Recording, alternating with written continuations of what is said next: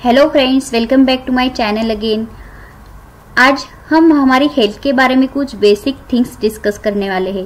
जैसे कि हमें नॉर्मल ब्लड प्रेशर का लेवल डायबिटीज़ और डब्ल्यूबीसी आरबीसी का लेवल पता नहीं होता। तो ये क्या होता है? ब्लड प्रेशर कैसे होता है? डायबिटीज़ कैसे होता है? ये सब हम इस वीडियो में छोटी छोटी जो बातें हैं, वो डिस्कस करने वाले हैं। तो चलिए पहले हम देखेंगे ब्लड प्रेशर क्या होता है। हमारी बॉडीज में डिफरेंट डिफरेंट आर्टरीज एंड भेस होती है। जो स्मॉल होती है, जो स्मॉल होती है, उसे हम भेस बोलते हैं और जो बड़ी होती है, उसे हम आर्टरीज बोलती है। ये जो आर्टरीज होती है, वो क्या करती है? हार्ट से डिफरेंट पार्ट्स को ब्लड सप्लाई करती है। तो आर्टरीज में जो ब्लड होता है, उसके द्वारा जो प्रेशर अप्लाइड होता है आर्टरीज को, उसे हम ब्लड प्रेशर बोलते हैं। ब्लड प्रेशर कब मेजर किया जाता है? जब हमारे ब्लड हार्ट का कॉन्ट्रैक्शन होता है। जब हार्ट कॉन्ट्रैक्ट होता है, तब एक ब्लड प्रेशर मेजर किया जाता है और बिफोर कॉन्ट्रैक्शन एक प्रेशर मेजर किया जाता है। उसे हम systolic blood pressure and diastolic pressure बोलते हैं। सिस्टोलिक प्रेशर जो होता है, जब हमारे हार्ट कॉन्ट्रैक्ट होता है, तब मेजर किया जाता है। इसीलिए जो हाईएस्ट प्रेशर आता है, उसे हम सिस्टोलिक हाईएस्ट जो प्रेशर होता है, उसे हम सिस्टोलिक प्रेशर बोलते हैं। और जो लोअर लोअर प्रेशर होता है, उसे हम डायस्टोलिक प्रेशर की बोलते हैं। Diastolic pressure before contraction of heart measure किया जाता है। जब हार्ट की मसल्स कॉन्ट्रैक्ट होगी, तब एक प्रेशर मेजर होता है। वो जनरली वन ट्वेंटी होना चाहिए। वन ट्वेंटी एम एम पर एच होना चाहिए। और जो डायस्टोलिक होता है लोअर ब्लड प्रेशर होता है, वो 80 होना चाहिए। ये इसकी नॉर्मल रेंज है 120 टू 80 इसलिए जब हम ब्लड प्रेशर मेजर करती है तो टू रीडिंग्स मिलती है। एक हाई और एक लो आज आजकल जो बहुत ज़्यादा भागदौड़ होने की वजह से 130 and 90 M M of H G A level बहुत सारे लो, लोगों की आती है। जैसे जैसे आपने चेकिंग का डिफरेंट डिफरेंट टाइमिंग होगा उसके हिसाब से ब्लड प्रेशर डिफरेंट आता है। आपने कोई एक्सरसाइज की है या तो फिर वॉकिंग करके आए हो तो आपका ब्लड प्रेशर ऑब्वियसली थोड़ा ज़्यादा आता है। और नॉर्मल कंडीशन में होगे तो नॉर्मल आता है। इसीलिए जब आपको ब्लड प्रेशर का कोई प्रॉब्लम होता है तो डॉक्टर दिन में चार पाँच बार आपको कंटिन्यूसली चेक करने के लिए बोलता है। तो आपकी सिचुएशन कौन सी सिचुएशन में आपका प्रेशर कौन सा आ रहा है, उसके हिसाब से आपको ब्लड प्रेशर है या नहीं है, वो डिसाइड किया जाता है। अभी मैं आपको बताऊँगी थोड़ा ब्लड के बारे में। हमारा जो बॉडी में ब्लड होता है, उसके फोर कंपोनेंट्स होते हैं। जिस, क्योंकि आपको बहुत सारे लोगों को ऐसे पता नहीं होता है कि इरेथ्रेसाइड जो है रेड सेल से वही ब्लड है, या फिर हीमोग्लोबिन है, वही ब्लड है। इसलिए ये टॉपिक मैं आपके साथ डिस्कस कर रही हूँ। हमारे ब्लड में फोर कंपोनेंट्स होते हैं, जैसे कि प्लाज्मा आरबीसी मतलब रेड पेसी जिसे हम इरेथ्रोसाइड्स भी बोलते हैं, और डब्ल्यूबीसी यानी कि सफ़ेद पेशी उसे हम ल्यूकोसाइड्स भी बोलते हैं and platelets RBC, WBC A cells होती है और प्लेटलेट्स उससे थोड़ा डिफरेंट होती है और प्लाज्मा प्लाज्मा में एक्चुअली जो ब्लड है वो सस्पेंडेड होते हैं।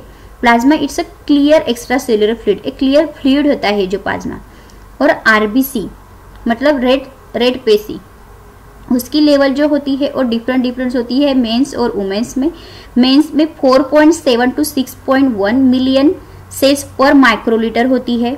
होनी चाहिए। 4.7 to 6.1 and in womens if that womens is not pregnant in normal womens 4.2 to 5.4 मतलब मेंस से थोड़ा आरबीसी का रेंज तो वुमेन्स में होता है, थोड़ा कम होता है। और चिल्ड्रंस में 4.0 टू 5.5 मिलियंस पर माइक्रोलीटर होनी चाहिए। ये है रेड सेल्स रेड सेल जो होती है, उसमें हीमोग्लोबिन एक कंटेंट होता है। हीमोग्लोबिन एक प्रोटीनियस होता है, जो रेड रेड सेल्स में प्रेजेंट होता है। उसकी वजह से हमारे बॉडी में ऑक्सीजन सप्लाई का काम किया जाता है।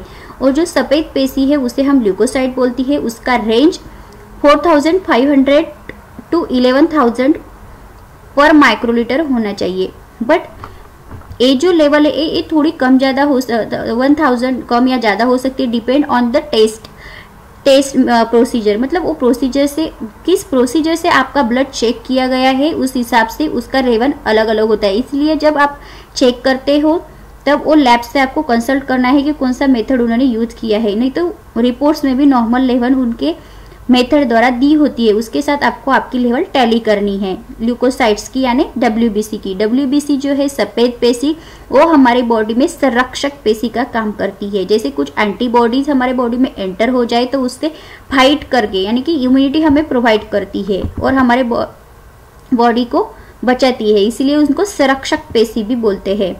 और प्लेटलेट्स प्लेटलेट्स का लेवल जो है one lakh fifty thousand to four lakh होना चाहिए।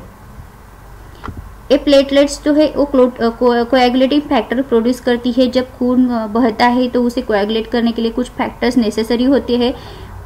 वो प्रोड्यूस करने प्लेटलेट्स वहाँ प्लेटलेट्स बहुत इंपॉर्टेंट होती है। इसलिए प्लेटलेट्स भी नॉर्मल लेवल में आपकी होनी चाहिए। और बहुत सारे लोगों को कंफ्यूजन है इसलिए मैंने यहाँ पे हीमोग्लोबिन का सेपरेटली आपको लेवल बताया है कि मेंस में 13.5 टू 17.5 ग्राम पर डेसीलीटर होना चाहिए और वुमेन्स में 12.0 टू 15.5 होना चाहिए। बट बहुत सारे लोगों को कंफ्यूजन ये है कि उन्हें लगता है हीमोग्लोबिन कम हो गया या, यानी कि उनके बॉडी में ब्लड सेल्स ही नहीं है या आरबीसी ही नहीं है या तो फिर ब्लड ही नहीं है। But haemoglobin and RBC both are different things haemo RBC जो है, ये ब्लड में एक सेल है और इस सेल के बीच में हीमोग्लोबिन ये एक प्रोटीन है। जो प्रोटीन ऐसा प्रोटीन है जो जब किसी दूसरी सेल्स को, दूसरी टिश्यूज को ऑक्सीजन की कमतरता हो तो वो वहाँ से जाके ऑक्सीजन के साथ एक सेल से ऑक्सीजन के साथ कंबाइन होके, वो दूसरी सेल में जहाँ कमतरता है, उसे पहुंचाता है और वहाँ से कार्बन डाइऑक्साइड के साथ कंबाइन होके वहाँ से कार्बन डाइऑक्साइड निकाल देता है। इसलिए ऑक्सीजन सप्लाई में हीमोग्लोबिन इंपॉर्टेंट है। तो हीमोग्लोबिन का लेवल आपकी बॉडी में होना, ये जो लेवल मैंने आपको बताई है, ये लेवल में हीमोग्लोबिन होना आपको ज़रूरी होता है।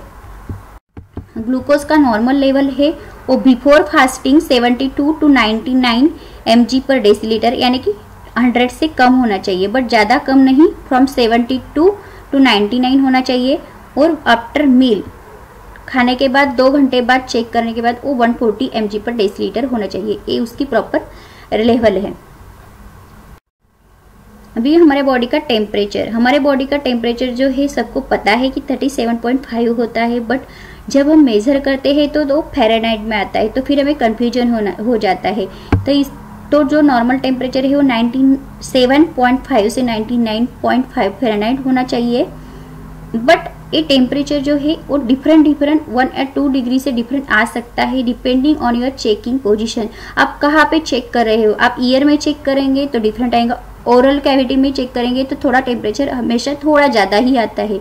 रेक्टल कैविटी में अलग आता है ईयर में अलग आता है तो थोड़ा कम ज़्यादा टेम्परेचर हो सकता है। यदि आपको, आपका बॉडी का टेम्परेचर 99.5 से ज़्यादा है 100 और 100.9 है तो फिर आपको फीवर है, ऐसा कंसिडर किया जाता है। यदि आपने आपके बच्चों को फीवर्स की मेडिसिन दे रहे हो, उनका टेम्परेचर कम हो रहा है तो सिर्फ़ आप उनकी सिम्टम्स जो टेम्परेचर बढ़ाने की है, वो कम कर रहे हैं। यदि आपको मेडिसिन देने के बाद बार बार बुखार आ रहा है तो मे बी उनको इन्फेक्शन हो हो सकता है। तो ये जो सब थिंग्स है वो हमें बेसिक पता होना ज़रूरी होता है।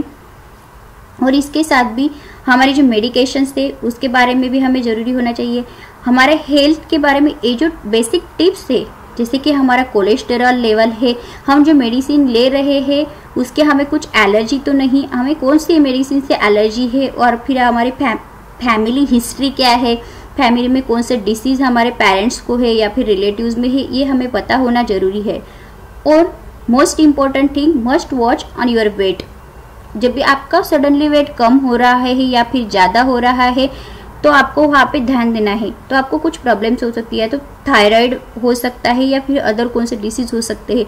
इसीलिए आपको आपके वेट पे भी ध्यान देना है। और जो आप मेडिसिन ले रहे हैं, आपको डॉक्टर ने प्रिस्क्राइब किया है कि वो आपको खाने से पहले लेनी है तो वो खाने से पहले ही लेनी है।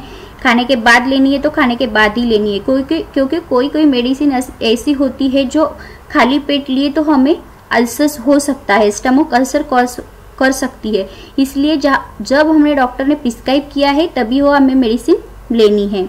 तो ये जो सब बेसिक थिंग्स है हमारे हेल्थ के बारे में, वो हमें पता होना ज़रूरी है। आई होप मैंने ये वीडियो में आपके सब बेसिक थिंग्स बेसिक क्लियर करने का प्रयास किया है और आपको वो ज़रूर पसंद आई होगी। यदि आपको मेरा वीडियो पसंद आया है तो प्लीज़ सब्सक्राइब कीजिए और आपके फ्रेंड के साथ शेयर करना ना भूलिए। Thanks for watching my video